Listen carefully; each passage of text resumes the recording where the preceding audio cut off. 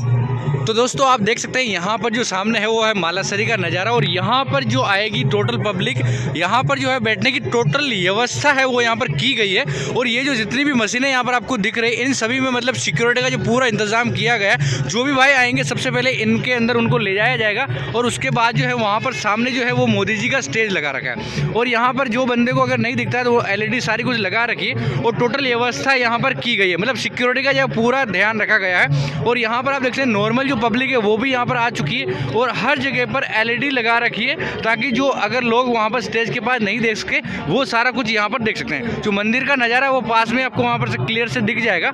और आप देख सकते हैं यहाँ पर जो टोटल यहाँ पर व्यवस्था है, वो गजब तरीके से की गई है। सिक्योरिटी का बिल्कुल पूरा ख्याल रखा गया है। सामने आपको स्टेज मिल जाएगा जहाँ पर मोदी जी है वो भाषण देने वाले हैं। मतलब वो डायरेक्ट वहाँ पीछे से आएँगे, यहाँ से सामने से नहीं जाएँगे, क्योंकि सामने से यहाँ पर लाखों की जो है वो भीड़ होगी। तो यहाँ पर जो सामने वो प्रोग्राम होगा, वो उस जगह पर होगा।